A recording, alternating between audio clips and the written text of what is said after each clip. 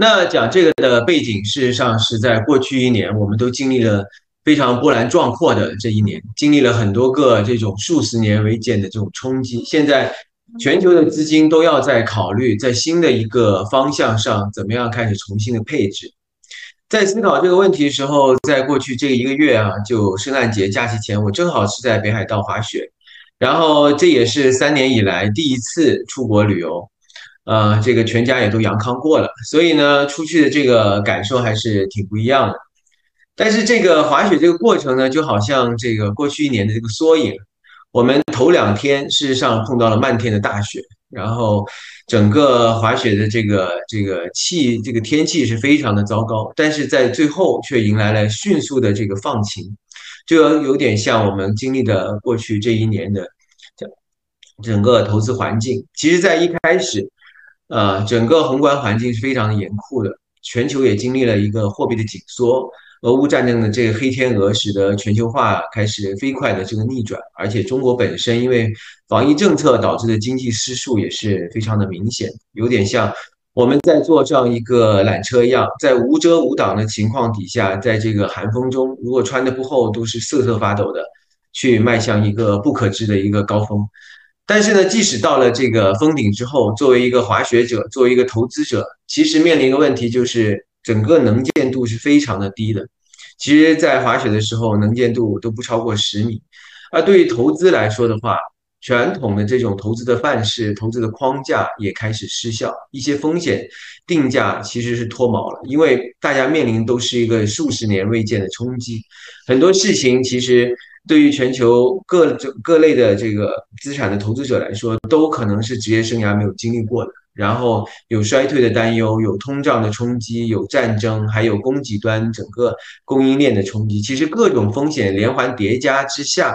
对于投资来说是需要极高的技巧。而同时间，对欧美投资者来说，一度也被这种意识形态所主导了投资方向。这都是在。呃，冷战之后都没有发生过的事情，但是短短的这样的一个多月里面吧，在呃去年十一月的时候，突然间出现了一个迅速的拐点，所有的风险啊，美联储的这个加息，美国的通胀啊，中国的防疫政策以及中美关系都在十一月份发生了这个拐点，非常集中的发生。然后就像是在雪道上一样，同样一条雪道，大家看到我这个第二和第三张的图片是完全一样的这条雪道。然后这一条雪道从什么都看不清楚，到可以完完整整的看到整条雪道的这个蜿蜒，以及更远的可以看到这个湖、洞爷湖，还有太平洋，都可以看得一清二楚。这个就有点像我们事实上在十一月份经历过十二月这样的一个变化一样。虽然往前复苏的道路还很长，也有很多的起伏，但是方向是非常明确的。而且，甚至如果要望得更远的话，你甚至可以看到未来，呃，若干年的这个利率也好，市场也好的这个走势。所以，对于投资者来说，无论是短期的投资者、技术型的选选手，还是长期的投资者、配置型的选手，都要争取这个难得的放晴的窗口，去快速的上道，快速的去做布局。这个事实上，我觉得也是今年初这个市场的一些变化，呃，可以隐含的一些方向。那我们看这个二零二二年的这个变化，整个全球资产的这个走势，事实上，呃，一个直观的一个感受就是，新兴市场的表现是好于发达国家。发达国家标普跌了百分之二十，纳斯达克跌了百分之三十，其他的德国和日本这样的发达国家，其实把呃，这个汇率算上也是跌了百分之二十左右。那对于新兴市场来说，这个差异是比较大的。北亚地区的话，呃，A 股、韩国这些把汇率算上是跌了百分之三十左右。但是其他的地区，像南美地区，以巴西为代表的，呃，股市是上涨了百分之五，啊，汇率也升值了百分之五。其实整体全年是涨了百分之十。而对于这个像印度这样的东南亚国家来说，即使把这个汇率的贬值算上的话，其实全年也是一个个位数的一个跌幅，所以这个对于全球呃配置型的这些基金来看的话，一个很大的启示就是，第一，在这样子在非常猛烈的联储加息的过程中，事实上这是过去几十年第一次呃，在这样的加息环境里面，没有任何一个主要的呃新兴市场经济体发生任何哪怕接近危机的事件，这是以前从来没有发生过的。然后第二个呢，则是说你在这个地域配置上的差异是非常巨大的。南美如果对于一个美国美国基金来说，你配置在南美和北美可以相差百分之三十；如果说是对于一个呃新兴市场里面配置，或者说亚洲区的配置的话，在东南亚也比北亚要强了百分之二十。如果考虑这个利率和汇率的影响，其实，呃，在不同的市场里面，可能它给你带来的这个超额的收益或者说是损失，也是可能有影响在百分之十到十五。所以，对于呃二二三年的重新的配置来看的话，在地域上的选择，在发达国家和新市场中的这个抉择，以及怎么样看待宏观上利率和汇率的影响，都是决定这个收益的三个方面的很重要的因素。那从二二年到二三年几条宏观主线的这个延续，有的也开始了反转。过去的这一年主线主要是三条，第一个是美国以美联储为代表的这个全球的这个货币的紧缩，然后这一条主线其实在呃过去这半年的时间吧，已经开始了有不断的反复，到了十一月份已经确认这个通胀是已经见顶，加息。是明显的放缓，而经济衰退的阴影，经过了这个一整年的大家的预期和发酵之后，可能今年也确实将要到来，而这个也就预示着下一阶段降息周期打开。对于防疫政策来说的话，大家都有亲身的这个感受来说，这个一百八十度的高速的转弯，在非常短的时间里面也实现了全民的免疫，虽然对很多这个个体是非常不幸的一些事情，但是。对于这个国家来说的话，其实也是在非常努力的为下一个十年，呃，这个开局打好一个经济基础。对于中美关系，其实很大程度上，我觉得俄乌战争是给了全球啊这个各大政政治经济体一个很大的启示，就是，嗯，事实上是美国仅仅靠这个代理人就打赢了这个从前的全球第二军事强国。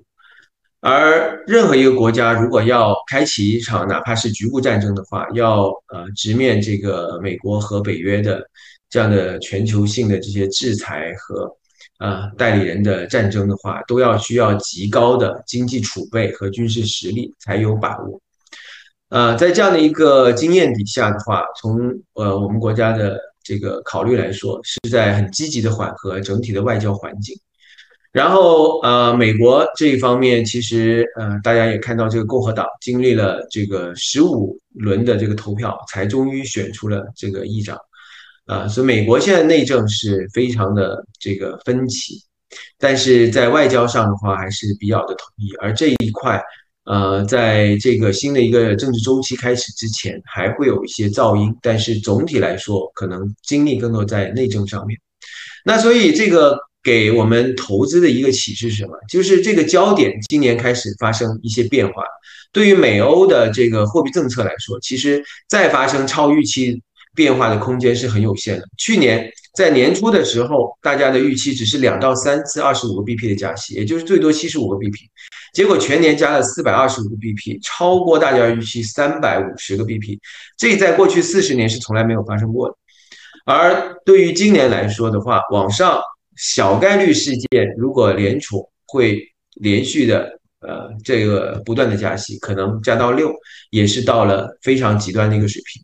一百个 BP 的这个差异。如果说是发生一个衰退，开始了降息的这个节奏，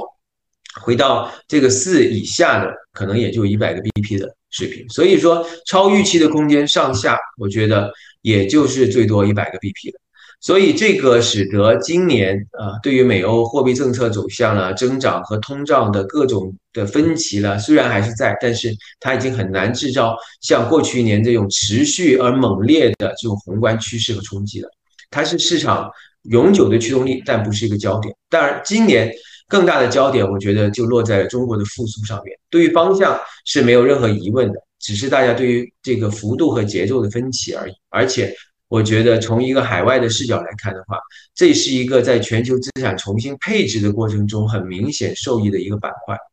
还有一个重要的关注点是日本如何退出这个宽松政策，这是一个很重要的风险事件。但是在现在这个时候还很难去把握和或者说去揣测啊，日本央行在这个政治压力底下将会做出什么样的一个改变。但是方向要退出退出这个宽松也应该是没有太大疑义的。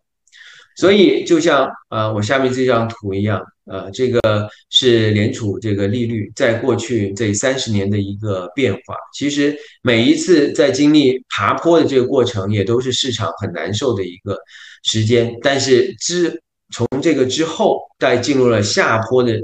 这个滑雪下坡的这个过程的时候，通常也会带来了新的资产的上涨的一个周期。所以这也预示在未来的一两年，整个投资的环境确实是有所好转。对于联储来说的话，为什么它现在还那么，呃，那么的阴？至少在口头上还比较的阴。事实上，呃，我觉得联储是非常深刻的吸取了七十年代美联储控通胀失败的这个教训。呃，在我这个华尔街见闻的这个大师课里面，其实也对这个有一个比较详细的一个展开。呃，但是呢，我们呃长话短说，就简单来看的话，联储现在吸取了七十年代的这个。失败教训之后，是越来越强调对于通胀的预测的框架。在嗯这个嗯去年一篇，我觉得是被联储也反复引用的一篇 IMF 的很重要的一篇研究来说的话，他做出的一个重要的结论，就是在于。通胀是由这个 inflation 和这个 headline shock 两部分所组成，而 inflation 来自于这个就业市场的紧张程度、通胀的预期以及 headline shock 的传导，而 headline shock 又来自于通能源的价格、汽车的价格和订单的积压。而在这个就业市场这方面来说，由于整个理论所基于的环境的变化，疫情后对于劳动力市场的伤害，使得 Beveridge 曲线、菲利普斯曲线都已经出现系统性的外移，所以这个明确的结果就是，它需要在两年时间里面，二三年和二四年，把失业率提高的七点五，才能够让通胀回到百分之四的水平。这个事实上也是联储不敢在口头上转割，也不敢在行动上迅速的转向的一个重要的这个理论依据。但是为什么市场还抱有比较乐观的情绪呢？事实上，我觉得市场看到的这些数据上的变化，已经清晰的去反映了在这个框架里面很重要的一个部分，就是来自于 headline shock，这个能源价格、汽车价格这方面，还有这个就业市场这一方面的冲击，事实上都在变得明显的在变得缓和了。就业市场虽然大家看到的数据还是超预期的这个紧张，但是。从趋势上来说，从这个去年年初的这个最紧张的程度，已经是在趋势性的这个缓和了。而对于商品价格，啊，右边这张图，这个各类的分类其实都是在呃普遍的这个下滑，整个价格的上升的趋势已经开始转为下跌的趋势了，里面包括。新车、二手车、消费电子、IT 产品这一系列的这个消费品，都已经从去年的通胀的主要拉手，变成今年可能变成了一个通缩的效应。然后比较刚性的一部分，来自于这些啊医疗服务啊，这些啊食品啊，其实随着总体这个经济呃衰退的发生的可能，也是在向下的运动的过程中。而在这个 core 这个核心 CPI 以外的部分，来自于能源和食品的价格。其能源和农产品原料的这个价格已经回归到二一年底、二二年初的这个水平以下了。这张图里面是这个原油的价格、欧洲天然气的价格以及这个小麦的价格。其实从这个呃对比二一年底的价格来说，现在已经全部回到了二一年底。之前的这个水平了，所以说在接下来两个月啊，基本上呃不会对通胀有太多的影响，甚至在原油价格上还是向下的这个通缩的效应。而在三月份开始，大家都记得，在三月份是最猛烈的一波这个商品大宗的上上涨的过程，而在二三月份开始，这基本上都成了一个通缩的效应。这个和俄乌战争的这个变化，这个乌克兰农产品出口的恢复，以及欧洲天然气补库存，还有暖冬，以及德国非常快速的摆脱这个欧洲能源进口这一系列都是有关系的。那现在这个对于经济增长还存在很多的这个争辩，但是从数据上来看，对于美国经济的下滑已经是没有太多的这个方向性的这个疑问了。这个从制造业的 PMI 的下滑也是过去这十几年的一个低点，而更加这个冲击更加大的，也就是上周五的这个数据是。呃，服务业的 PMI 是首次，这个就除了二零年三月那一波那一下冲击以外，是首次在过去这十三年里面第一次跌破五十，而之前一年已经出现了房地产、汽车、零售消费的这个下滑，这些都是指向了一个衰退的方向。但是问题就是在于，由于劳动力市场的紧张，失业率现在是五十年的低位，而就业的缺口还是非常的。非常的紧张，所以在一个过往的实践或者理论上来说，存在这么这个就业如此好的情况底下，是不会过去是没有发生过衰退的。现在这个衰退的幅度恐怕也会比较有限，所以这个是在一个仍然不是特别清晰的问题底下。所以对于一个投资者来说，他看到的情形就是在欧美央行的紧缩周期。啊，虽然是在后端缓和了，但是也没有结束，衰退还是个大概率的事件，所以在这样的环境底下，很难指望在这个欧美市场获得什么太像样的一个收益。那资金是需要一个新的配置出口的。去年在全球普跌的情况底下，大量的闲置资金没有找到一个像样的出口，而今年事实上通过。啊，这个短暂的放晴的窗口，大家仿佛看到了未来的一个方向。这个方向就是从发达国家 DM 向这个新兴市场 EM 去流向，而这个流向在过往十几年是没有发生过的。大家从下面两张图可以看到，左边这张图是零二年到零九年这个 EM 和 DM 的这个表现。蓝色这条线是 EM，是大幅跑赢这个 DM 市场的，这也就是零二年这个提出来，呃，这个金砖四国概念之后所带来的整个 EM 市场的超额的增长。但是从零九年之后，从一零年一直到去年，其实这条红线代表的 DM 是远远跑赢 EM，不是因为 DM 的增长有多好，而是因为 DM 享受了来自于这个量化宽松带来的。资金面的估值上的提高，以及全球化红利，那这一方面，在这个过去这一年，事实上也开始了这个方向性的、根本性的这个转向。大家看得到的量化的紧缩，以及这种全球化的互联网公司，呃，在这个这个法律法规上的被制裁，以及衰退的影响，以及这个地缘政治带来的冲击的变化，都是使得这个方向开始转向。而在去年这一年里面，大家也看到，EM 是抵御住了这个外部加息的风险。它抵御的能力，除了来自于很多国家是这个大宗的出口国了，以及产产业链转移的这个汇集了以外，还有很重要的是，过去十几年以来，由于资金没有怎么像样的来到这个 EM 市场，所以他们的宏观杠杆率的提高是比起 DM 来说是差很多的。啊，除了中国以外。然后，所以整体的风险抵御能力是提高了很多，而经济增速也是比较快的。这个教受教育程度、劳动力受教育程度的提高、科技竞争力的提升都是看得见的。所以在未来的发展里面，EM 理所当然应该享有更多的这个溢价。同时，在短中短期来说的话，EM 也会受到中国复苏的这个提振。在全球现在。一个新的多极化的里面，EM 很显然也是非常重要的一级。所以在这一系列的这个因素的这个推动底下，我觉得呃，这个现在当然还没有看到非常明显的这个趋势，但是我觉得这个方向是对于全球性资金呃，在未来一年甚至多年需要这个重新审视的一个重要的配置方向的改变。那在这个改变的过程中，中国资产显然是最受益的部分。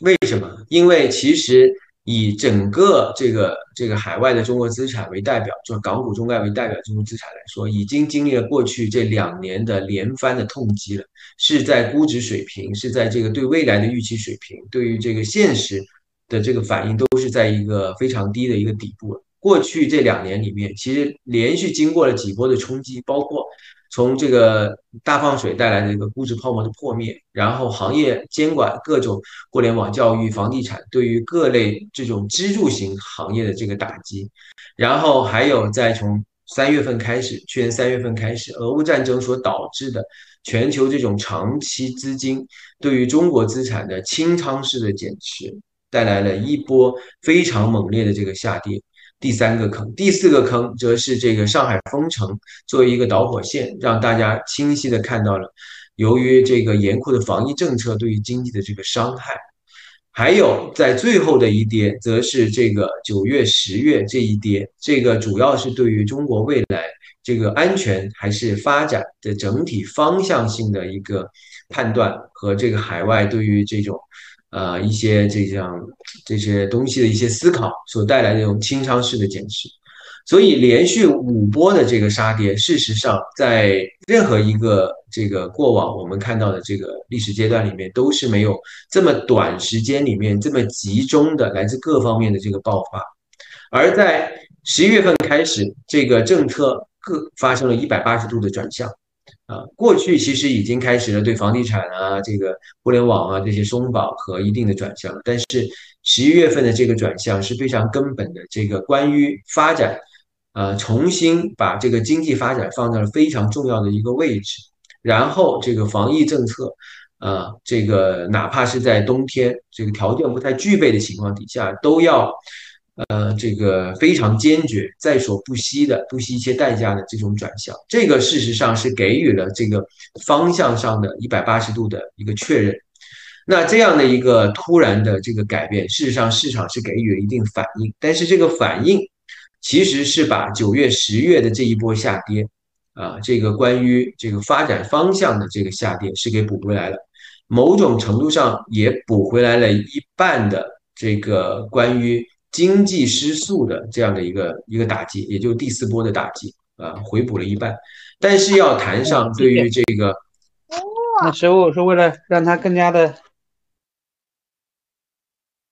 对，如果是对了未来这呃这个。这个上涨的话，其实还有几个坑啊，除了这个这个放水估值泡沫这个坑，估计是补不回去。其实几个另外几个坑也还有空间去回补，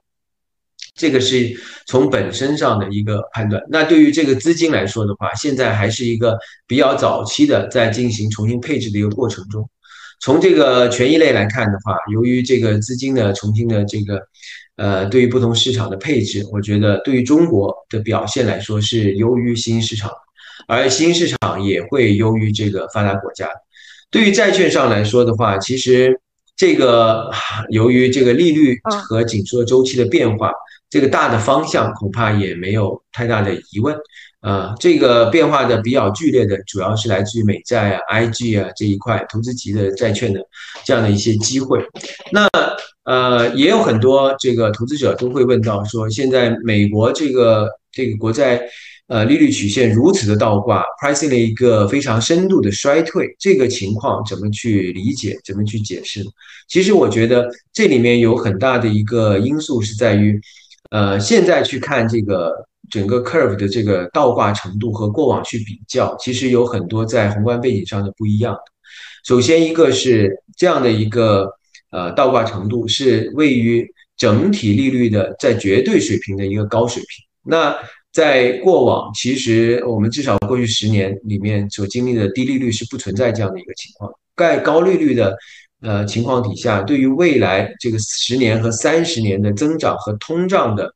呃，这样的一个预期，事实上是使得现在的资金更愿意去配长债。大家可以想象，假如是一个将要退休的人，在考虑未来三十年的这个回报的时候，现在买一个三点七、三点八的三十年美国国债，是足是足以呃支支撑支撑一个退休生活。而对于这个养老金、退休金的系统来说的话，过去这十几年，呃，在零利率水平底下，这个负债成本对比现在的这个。这个收益水平来说是显然是到了一个非常舒服的一个区间了，所以这也就是在长债十年、三十年会看到呃比较稳定的这个资金的这个流入所造成了这个长期利率的这个低位。而在短期则是这个联储死死的顶住了这个短期利率，所以这个倒挂的程度，事实上它除了对经济衰退是有一定的 pricing 以外，对于未来的长期的这个增长，对于发达国家这个长期增长信心不足，以及人口老龄化都是一个很重要的因素，所以这不不能够简单的解释为是一个深度衰退的问题。所以说，正因为如此。即使衰退不是一个深度水平的衰退，也不见得说这个呃美美债的长债会有多大的一个一个反弹，利率有多大反弹，这是一个主要的一个原因之一。然后对于中国这块的话，其实由于人民币的这个回暖，然后对于债券上的这个这个担忧啊和这个。也会变少很多，然后我觉得配置也是有一定的机会的，包括在经济没有完全复苏之前，整个流动性也还是处于一个相对平稳的一个一个过程。但是，呃，关键是之后这个假如需求上升，会不会出现一定程度的通胀，以及这个利这个由呃固收向权益去做的这个配置的转换，会不会带来一些冲击？这个是比较难说的地方。然后对于日本来说，显然是最不适合配置的地方，因为大的方向已经很确定了是要退出这个宽松，只不过这个宽松是以这种呃小刀切肉式的这个 YCC 的一些变化，对于这个还是说比较猛烈的，对于短期利率、短端利率如果脱离了负利率，这个对于日本的金融体系，对于这个所有会受惠于呃 BOJ 放水的资产。呃，比方说日本国债、日本的这个 ETF 都会有很大的影响。对于汇率来说，这个已经我们已经过完了这个美元周期了。我觉得这个强周期已经这个顶点，适合这个加息的周期的顶点，基本上是要提前一小步的。所以说，美元的周期恐怕现在是在一个强周期的尾端，或者说是在走弱周期的一个。一个早端，然后所以这也带来了人民币升值和一个回稳的机会。然后对于日元来说，这就呃属于很多这种黑天鹅式的这样的机会了。到底 BOJ 以什么样的形式去展开？今年和过往很多年都不一样，BOJ 从来都不是一个重要的风险事件和风险观察的点。但是从今年开始，可以说每一次会议都值得这个市场去留意。呃，对于商品来说，其实我觉得也不像呃前者那么清晰，因为这里面既有全球衰退的呃负面的影响，也有中国复苏所带来需求拉升的这个这个变化。而市场来说，可能在上半年还更多的偏向于这个衰退的交易，但到了下半年，可能又回到这个复苏的这样的一个机会了。当然了，这个 OPEC 所带来的这种供给端的这样的一个反向的拉动，也是一个一个因素之一吧。所以说，讲了这样的一个大致的一个配置的思考之外，我觉得也要强调一下现在现在市场所面临的风险。我觉得最直观的就是预期和现实有很大的差异。对于中国来说，是从一个低谷所走出来的，失业率事实上的还是比较高的，然后也这个防疫所带来的对于地方经济、地方政府的这个这个财政能力的这个伤害，其实债务问题也是大家不可忽视的，还有更长期的。这样的一些房地产和人口老龄化的这些问题，对于美国来说，在充分就业底下要去预期一个衰退，而且是普遍的预期一个衰退，这也是一个非常矛盾的一个事情。日本怎么样去退出宽松，这个当然是一个值得关注的。而通胀可能呃，在在全球出现的一系列的这个通胀，在中国这边的话，虽然没有来自于这个。呃，大宗的输入型的这个通胀的拉升，但是劳动力供给的问题和需求回升所带来这个通胀，会不会成为下个阶段需要担忧的东西？我觉得值得关注。还有，呃，对于这个投资港股啊，从这个港股快速复苏中这个看到的一些机会，但是反面它的风险依然是存在。港股本身具备的结构性的缺乏深度和流动性的问题，这个。是跟它的这个市场组成是有很大关系，这个是几乎是不太可能改变的。所以对于港股来说，永远是位于一个暴涨和暴跌的这样的一些一些状态啊。这个尖顶和尖底是是常是是比较常见的，而很少呃会出现圆顶和圆底的情况。这个对于市场来说也是一个很有挑战性的一个问题，既要把握住难得的时间窗口，但是也也要规避有可能呃发生的一些剧烈的波动。这是一个投资于海外港股也好、中概也好的一些问题。好，好，那我今天就先分享这么多。